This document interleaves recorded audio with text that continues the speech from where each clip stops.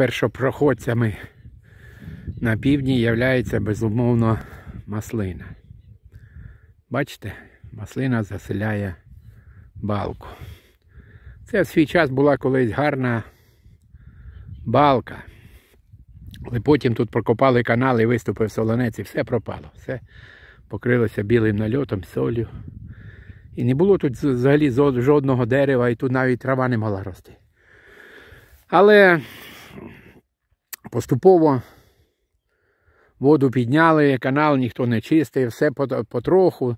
Ну, це за десятиріччя почало вертатися на круги своя. Прокопали канал десь тут всередині 70-х.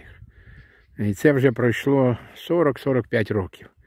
От через 45 років тут природа трохи вертається до, до себе назад. І бачите, одним із провісників натуральної природи є маслина. Маслина прекрасне дерево. Це і медонос, і дрова, і насіння, і корм, і притулок звірям, е, пташкам.